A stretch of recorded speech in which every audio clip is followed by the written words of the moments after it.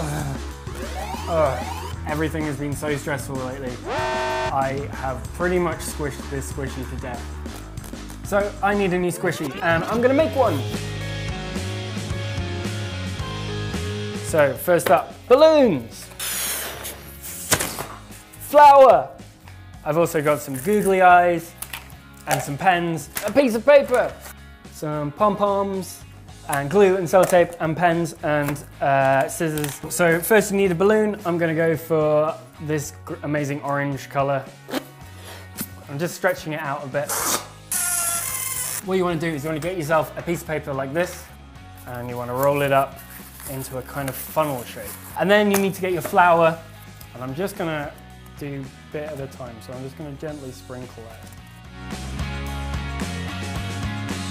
There we go definitely going in now. Okay, cool.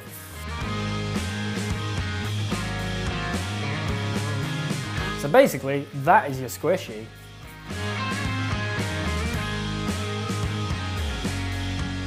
It's quite therapeutic, it's good.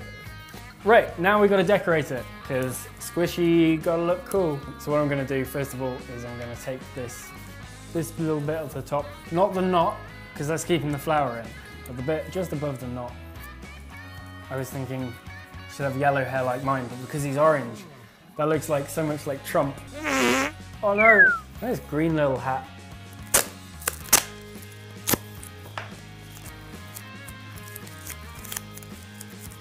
Okay. So we have the, the bubble on the top there. Uh, he's to need some eyes. So I've got these googly eyes. You could draw on some eyes um, if you wanted to draw on some eyes. I have some goggly eyes, which you can get at most like pound shops, craft stores, whatever. And there we go, we've got a little guy.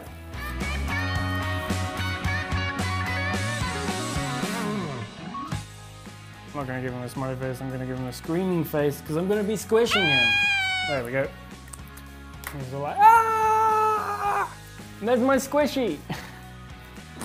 It's actually really good with the pom-pom. Look at him squish. Ah!